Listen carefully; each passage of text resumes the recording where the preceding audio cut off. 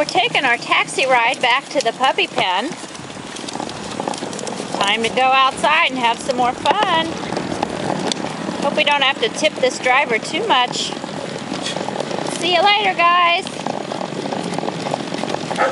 Good pop-ups. Good puppies.